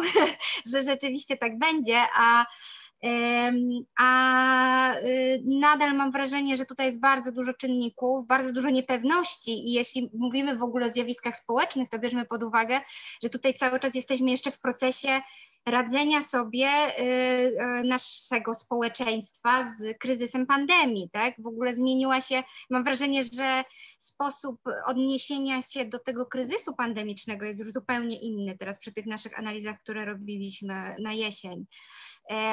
Więc y, to, co mnie zaskakiwało y, permanentnie, to właśnie pojawianie się takich zbyt mocnych opinii i przewidywań, e, często z, ze strony, oczywiście one też wzmacniane są jakąś tam dynamiką e, prasową i, i upowszechniania tych, tych e, wieści, ale, ale to, to, to jest i nadal mi to towarzyszy. Nadal myślę, że, że powinniśmy mieć więcej pokory w naszych, w naszych predykcjach. Ja mogę szybko powiedzieć, y, bo nie wiem, czy to jest z kategorii zaskoczenia, ale coś takiego, co mi bardzo zostało w głowie jako pomysł. I to jest właśnie fajne w takich warsztatach, jak w ogóle zapomniałem powiedzieć, że ja po prostu się cieszyłem, że możemy razem z WC Silesia zastosować jakąś metodę tak zwanych przyszłości. To się źle na polski te futures tłumaczy, bo naprawdę uważam, tak jak był taki moment, gdzie się rozkręcało design thinking, to uważam, że jest podobnie. Po prostu szczególnie wychodząc z takiego czasu nagłej zmiany, to są jakieś takie często bardzo proste w sumie narzędzia, przynajmniej założenia, ale dające skomplikowane i ciekawe efekty, pozwalające trochę się zastanawiać, bo my nie przewidujemy tej przyszłości, ale coś sobie mm, na jej temat, prawda, właśnie y, przerabiamy w głowie i pamiętam, że w rozmowach, w których zresztą uczestniczyła y, Karolina Długosz z NetGuru, która tu jest na spotkaniu, miło Ci widzieć, y, pojawił się taki pomysł, że skoro ludzie no, nie, pojawią, nie będą pojawiać się w biurach, szkołach i tak dalej, ale już nie będą chcieli tkwić w domach, to pojawią się jakieś takie nowe trzecie miejsca, jakieś takie może trochę kooperatywy, takie przestrzenie wspólne. Teraz mi się skojarzyło, patrząc na Was ze Śląska, że pamiętam na przykład, że na Nikiszowcu były wspólne pralnie, które były też miejscami społecznymi. Ja w ogóle strasznie lubię ten temat nowych jakichś miejsc trzecich i on mi tak został w głowie, moim zdaniem jest bardzo mało realny. To była dla mnie taka bardziej zdrowa wersja e, kołerków, które mi się wydaje z fajnego pomysłu przeszły w jakiś taki szalony dream startupowca, że się tam na korytarzu spotka po prostu miliardera i nie wiem, czy to są dobre przestrzenie, moim zdaniem średnio, to mieliśmy naprawdę taką ciekawą wizję, że ci ludzie po prostu nie mogąc chodzić do biura, będą nadal chcieli być razem i że to powstaną takie przestrzenie współpracy, wsparcia, może te dzieci gdzieś się będą musiały kłębić e, w okolicy. I to mi strasznie zostało w głowie, to jest bardzo fajna wizja e, i taki dla mnie urobek tego spotkania. Super, dziękuję. Ja tak e, tutaj dodam, że mm, dwie rzeczy mi tak przyszły, przyszły do głowy. Pierwsza rzecz to, to tak w nawiązaniu do tego, co mówił Alek, odnośnie właśnie narzędzia, którego, z którego skorzystaliśmy podczas warsztatu. Było to narzędzie e, Future Backwards, e, czyli e, narzędzie, które pozwoliło nam najpierw mm, opisać troszeczkę teraźniejszość i pewien ciąg przyczynowo-skutkowy prowadzący do tej teraźniejszości, a następnie wykreować dwie skrajne wizje przyszłości i spróbować znaleźć ścieżkę, poprzez różne wymyślone wydarzenia, które e, przechodząc od przyszłości do teraźniejszości, mogłyby doprowadzić do, do właśnie do, do zaistnienia tych wizji. Więc to, to było ciekawe, że nie tylko jakby kreowaliśmy pewien świat e, przyszłości, ale również potencjalne zdarzenia, które, które do, tej, do tej przyszłości doprowadziły. I tutaj od razu mi się taki, taki wątek pojawia, bo wspomniałeś narzędzia design thinking i, i ten, jednak te narzędzia, y, y, narzędzie, z którego skorzystaliśmy, ono, ono y, jakby odchodzi od takiego liniowego myślenia w kategoriach, który, który, często, który często jest widoczne w, w procesach myślenia projektowego, takiego powiedzmy szablonowego, czyli od, od pomysłu poprzez e, jakąś ideację do rozwiązania, raczej raczej e, w, ty, w, tych, w tych podejściach my, my funkcjonujemy w dużo bardziej złożonych kontekstach i, i staramy się e, wyłuskiwać wiele nieoczywistych połączeń. I, i, jakby wydaje mi się, że właśnie ten, ten zestaw narzędzi związanych z, z, z z taką pracą spekulatywną, z odkrywaniem pewnych możliwości, czy przestrzeni możliwości, tak naprawdę to jest, e, tak jak mówisz, bardzo duża e, mm, też szansa teraz i, i, i możliwość e, mm, pracy w, i, i, odkrywania nowych, nowych rzeczy. Się zastanawiam, czy Karolina, chcesz coś powiedzieć, czy się zgłaszasz, czy... Nie, ja sobie zasłaniam słońce, A, które okay. mi zakryło komentarz Czarka okay. i musimy go zobaczyć. Okej, okay, ja miałem ten, miałem dokładnie e, to samo, co chwilę mi słońce świeciło w twarz. A druga rzecz, która, mi się, która mnie zaskoczyła, ale nie na warsztacie, tylko to jest coś, co mnie ogólnie tak e, bardzo ujęło ze serca na początku pandemii, e, to była taka spontaniczna empatia i, i troska o drugiego człowieka. To jest to, co pamiętam dokładnie rok temu się działo nie tylko w Polsce, ale tak naprawdę na całym świecie. Te pierwsze tygodnie pandemii, kiedy, kiedy mm, tak duża solidarność była między ludźmi i bardzo dużo spontanicznych działań oddolnych, mających na celu wsparcie, czy to właśnie nauczycieli podczas prowadzenia zdalnych zajęć, czy to uczniów, czy to medyków e, pracujących na, na pierwszej linii frontu. I to były dla mnie takie, takie e, no, bardzo piękne sceny i obrazy, które, e, którym się przyglądałem, w których też nieraz uczestniczyłem. I wydaje mi się, że po roku jakby tego mniej, mniej widzę tych, tych rzeczy i, i mniej, mniej widzę takiego solidarnego działania. Nie, nie wiem, z czego to wynika i być może już jesteśmy, przywykliśmy do tej sytuacji i te nasze jakieś możliwości i zdolności adaptacyjne doprowadziły do tego, że jesteśmy po prostu już pogodzeni trochę z tą sytuacją i bardziej roszczeniowi.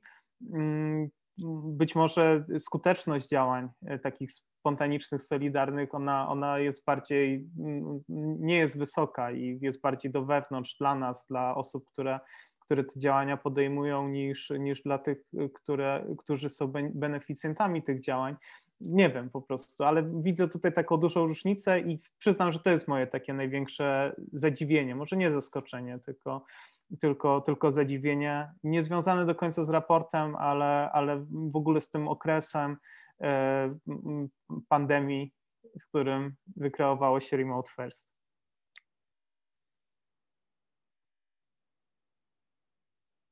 Mm, czy jak tutaj na czacie widzę dużo się dzieje? Ja mam jeszcze jedną rzecz, jeśli, jeśli, jeśli można, bo powiedziałeś, że i tak jesteśmy po czasie. Hmm. A propos e, tego obszaru, który był, o którym opowiadała Katarzyna, teraz trochę mówię przez pryzmat rodzica. Mówiliście o tym takiej sprawiedliwości geograficznej.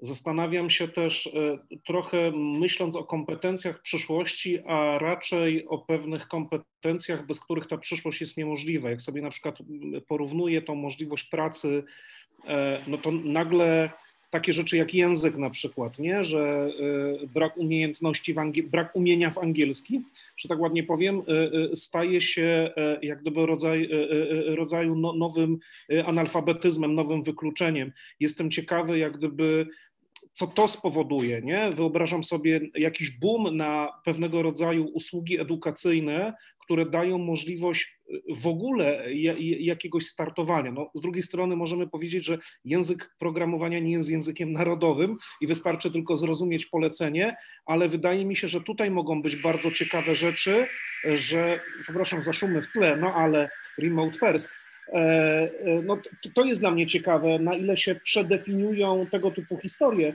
I, I to moje doświadczenie rodzica jest takie, że mm, moja córka akurat w okresie pandemii zmieniała szkołę, w sensie takim, że skończyła szkołę podstawową i szła do szkoły średniej i nagle nam się przewartościowało i inne rzeczy zaczęły być ważne. Na przykład to, jak sobie szkoła radzi z, e, e, z nauczaniem zdalnym, ale bardziej jak sobie radzi e, z onboardowaniem tych dzieciaków nowych w nowej rzeczywistości. Jestem ciekawy, na ile to odciśnie, na ile to cokolwiek pozmienia jak gdyby w rzeczywistości, nie? bo to mi się wydaje też bardzo, bardzo ciekawe. Inne rzeczy mogą stać się inaczej ważne. Nie chcę powiedzieć mniej czy bardziej, ale inaczej. To też jest ciekawe moim zdaniem.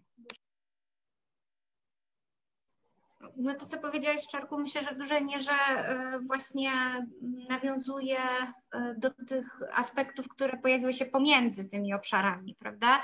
Właśnie to, to te wątki nam się zdecydowanie tutaj e, pojawiały, że nagle została zawietrzona e, rola opiekuńcza szkoły, która wcześniej była zupełnie niewidoczna i jest tutaj z nami Iza, e, która jest nauczycielką i też na pewno mogłaby to skomentować. Jakby wcześniej po prostu rola opiekuńcza szkoły była dla rodziców, dla pracodawców niewidoczna, teraz nagle ona zostaje zawieszona i e, okazuje się, że e, no, wywiera realnie presję na ten system związany z pracą. Tak? E, ja, ja, ja, uważam, że właśnie obserwowanie tej presji wzajemnej jest bardzo ważne, tak? bo nawet jak mówiliśmy o tych kompetencjach cyfrowych, bo jeśli pomyślimy teraz globalnie o społeczeństwie, albo nawet o społeczeństwie polskim, to gdzie my w tym e, indeksie DESI, e, jeśli chodzi o, o, o nasze e, kompetencje cyfrowe, no nie, nie jesteśmy nadal zbyt wysoko w Europie, ale mam wrażenie, że ta presja, którą wywiera na nas ta sytuacja, mm, fakt, że wiele urzędów się ucyfrowiło, że jest mniej tych takich zaszłości, wywiera presję na wiele grup społecznych i spowoduje, że my jednak będziemy e, ucyfrawiać się, tak, wraz z trwaniem tego kryzysu. Więc mm, wydaje mi się, że że to jest właśnie ten efekt odsłonięcia wielu takich aspektów, które wcześniej nie były widoczne, a tutaj ta gwałtowność tej zmiany e, też, też taką rolę odegrała. Widziałam, że Iza na chwileczkę wyłączyła mikrofon, nie wiem, czy chciałaś skomentować, bo tak e, trochę cię e, no tak, wywołałam. Tak, generalnie wywołałaś mnie, a tutaj chociaż jeszcze Natalia jest, ta też jest tutaj nauczycielką, więc nie jestem sama, absolutnie tutaj w tej grupie e, nauczycieli. E, tak, rzeczywiście funkcja opiekuńcza była czymś, co zauważali przede wszystkim nauczyciele przez wiele lat i podkreślali, że dla niektórych rodziców e, szkoła jest placówką przede wszystkim opiekuńczą, jaka jest jakość edukacji, nie wpływała na ich ocenę, że tak powiem. E, tego, co się dzieje. E, bardzo często e, pozostawali właśnie na tym, na takim standardzie. To jest jakaś instytucja, która zajmuje się nami, naszymi dziećmi od 8 do 15, no a teraz, kiedy szczególnie w szkołach podstawowych tej instytucji nie ma, bo tej roli opiekuńczej oczywiście nie spełnia szkoła, w tej chwili nagle się okazało, że coś takiego jak szkoła istnieje. Ja tylko chciałabym tak dodać tutaj przy tej całej dyskusji, bo nie wiem, czy to wybrzmiało, że tak naprawdę szkoła ani nauczyciele nie odpowiadają za ani pracę zdalną, ani edukację zdalną, za to odpowiada rząd, Ministerstwo Edukacji i państwo. I mam wrażenie, że ta presja wywierana od wszystkich jest cały czas oddolna. Czyli czy to jest kultura, czy to jest szkoła, czy to jest muzeum, czy to jest instytucja jakaś kulturalna, to ludzie sami się organizują, samo się organizują, zresztą tu ktoś tu przed chwilą właśnie o tym pisał, a nie ma gdzieś tak jakiegoś e, myślenia odgórnego. I to nie dotyczy tylko szkoły, że to nie jest kwestia tylko edukacji, e, że my odczuwamy presję działania sami. Nadal jest to wszystko moim zdaniem taką, taką lekką prowizorką, lekką, porządną prowizorką, że to my działamy, a gdzieś tam państwo nas zostawia w tym wszystkim. To jest taka moja, moja tutaj uwaga do tego, że, że to nie szkoła jest odpowiedzialna za edukację zdalną. To wszyscy jesteśmy jako społeczeństwo i praktycznie rząd, który wybieramy. No a jaki jest, no to nie będę komentowała.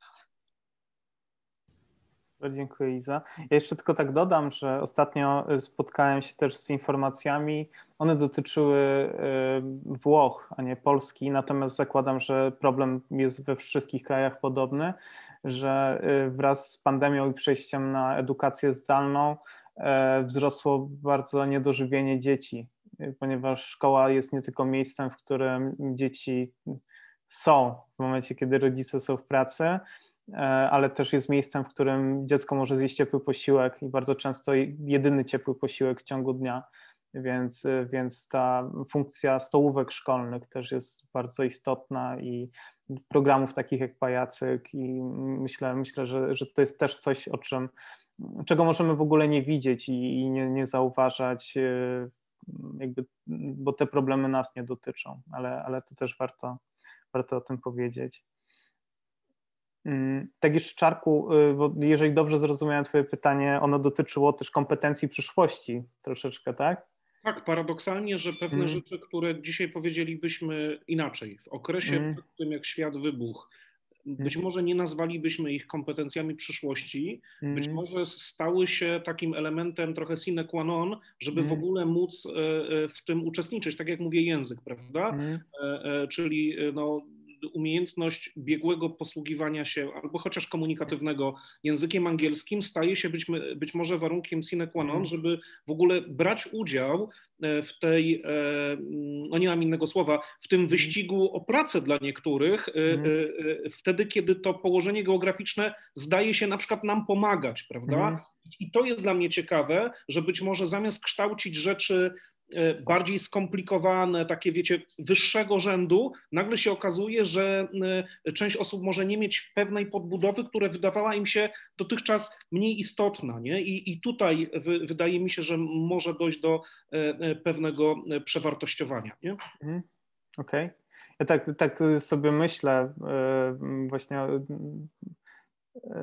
Dwie, dwie rzeczy mi przyszły do głowy. Tak, pierwsza to jest, też ostatnio usłyszałem taką informację, że takim zawodem przyszłości, którym chcą być w większości nastolatki, nastolatkowie dzisiejsi w, w, świecie zachodnim, to jest youtuber, czyli czy youtuberka, że jakby dzieci, dzieci o tym marzą, żeby właśnie żyć z YouTube'a, z Instagrama i tak dalej, a w Chinach jest to astronauta i że to też pokazuje pewne, pewne różnice. Takie mocno kulturowe, ale też ogólnie systemowe pomiędzy różnymi cywilizacjami, które się rozwijają równolegle na, na, na świecie i ze sobą konkurują, więc jakby mm, ta, mm, te kompetencje przyszłości, one też y, no, mocno będą zależeć jednak od tego Mm, od tej lokalizacji geograficznej i też pewnej mm, filozofii, w jakiej rozwija się dana kultura. Natomiast zastanawiając się nad kompetencjami przyszłości, przychodzi mi do głowy taka takie różnego rodzaju raporty, różnego rodzaju artykuły, które się pojawiały przez ostatnie lata, 10 najważniejszych kompetencji w perspektywie 10 lat jak to szybko się zmienia. I e, w, pamiętam, jak e, chyba w Antykruchości Taleba e, przeczytałem o tym, on napisał, w jaki sposób napisać bestseller. Zadał takie pytanie, w jaki, co trzeba napisać, żeby książka była bestsellerem? Jak do tego podejść? Żeby książka była bestsellerem i żeby książka była też ponadczasowa, była, była, była dziełem, które, które za 20 lat też będzie popularne. Czyli nie będzie to Malcolm Gladwell czy, czy Simon Sinek z jakimiś e, banałami, e, które będą popularne przez rok, tylko coś, co będzie, coś, co będzie, nie będzie się wstrzeliwać w jakiś, w jakiś trend e, obecny. I on powiedział, że czy napisał, że żeby napisać y, dobrą książkę, która będzie ponadczasowa, trzeba się zastanowić, czy dana książka, czy dana treść byłaby interesująca 30 lat temu. Czyli żeby poszukać y, wartości w treści, która y, w odniesieniu do przeszłości i tam szukać tych elementów, które, które by stanowiły wartość dla obywatela, mieszkańca e, świata, powiedzmy lat 80. czy 70. Jeżeli w naszej e, intelektualnej zabawie e, taki, taki mm, mm, mieszkaniec, czytelnik odnalazłby wartość w naszej literaturze, istnieje duża szansa, że za 30 lat świat, który będzie zupełnie inaczej wyglądał, będzie dalej posiadać ludzi, którzy odnajdą tę wartość. I, i e, to, co jakby tak bardzo zrobiłem długi wstęp, to, co e, dla mnie jest takim istotnym elementem czy istotną kompetencją e, związaną z przyszłością jest to, co tak naprawdę towarzyszy mi przez całe życie, czyli sposób radzenia sobie w różnych sytuacjach. I to nie wiąże się z jakąś twardą kompetencją, na przykład nie znajomością języka obcego, tylko bardziej na przykład z, z możliwością radzenia sobie z niepokojem czy z lękiem. I, I, wydaje mi się, że, że świat, w którym teraz funkcjonujemy, i też ten świat, który, który którego przyszłości pozytywne i negatywne e, e, opisane są w raporcie, e, to jest świat, w którym bardzo mocno będziemy musieli umieć poradzić sobie z bardzo, dużą, z bardzo dużym poziomem niepewności i ciągłego zagrożenia. I właśnie to, co Czarku mówiłeś, takiego wyścigu o pracę i tak dalej. To, w jaki sposób my sobie będziemy radzić z tymi sytuacjami, wydaje mi się, że będzie, będzie kluczowe, ponieważ teraz jest pandemia, ale za chwilę może być e, jakaś inna tragedia, albo być może jakaś inna szansa, która, która się pojawi, która totalnie zmieni nasz sposób myślenia, więc, e, więc e, raczej szukałbym w tym kierunku, w jaki sposób po prostu być człowiekiem, który sobie będzie radzić z, z niepokojem, z niepokojem, który, który, z którym wiąże się życie.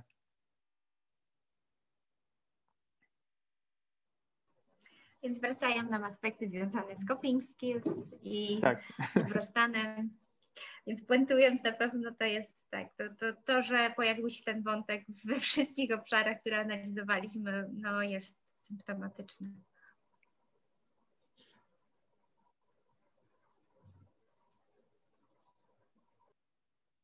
Słuchajcie, y, Ola, Olu, włączyłaś mikrofon. E, czy... Nie, ja właściwie chciałam powiedzieć, że to, to jest całkiem niezła puenta, mhm. ale widziałam, że ty też się zacząłeś do tego zbierać, więc, e, więc oddaję ci mm, wirtualny mikrofon. Dziękuję. Tak, wydaje mi się, że ten, że, e, że, że ba, ba, bardzo, bardzo fajnie potoczyła się ta dyskusja i, i cieszę się, że, że mm, te wszystkie rzeczy, o których nad którymi pracowaliśmy w trakcie warsztatu i które, które są w raporcie, miały szansę wybrzmieć. Zachęcam raz jeszcze do tego, żeby, żeby zapoznać się z, z pełną treścią raportu i też, żebyśmy pozostali w kontakcie i, i mogli, mogli rozmawiać i mieć mniejszy lub większy wpływ na to, jak e, ten, to, te zjawiska remote first będą, będą się rozwijać, bo wydaje mi się, że jesteśmy w takim gronie, E, tutaj patrzę na, na, na grono naszych uczestników, e, e, uczestników spotkania, których w większości znam i, i wiem, że my mamy to, to realne przełożenie, nawet w małym zakresie na to, jak, jak przyszłość będzie wyglądać, czy to w naszych w organizacjach, w których pracujemy, czy szerzej w, w, ramach E, działalności, którą prowadzimy, więc, e, więc e, tak naprawdę dużo od nas zależy i, i warto, warto o tym pamiętać. Słuchajcie, bardzo, bardzo Wam dziękuję. Dziękuję wszystkim uczestnikom, uczestniczkom za, za, za, za udział w spotkaniu. Dziękuję naszym prelegentkom i prelegentowi. Olu, Olu, Kasiu, Dzięki. Alku, Magdo, bardzo Wam dziękuję. No i mam nadzieję, że do zobaczenia wkrótce. Być może już nie zdalnie, tylko na jakimś spotkaniu e, fizycznym. E, bardzo bym się z tego powodu cieszył. Dzięki wielkie, dziękujemy Dziękuję. bardzo. Dzięki. Tak. Dzięki. Dzięki, do zobaczenia. Do zobaczenia.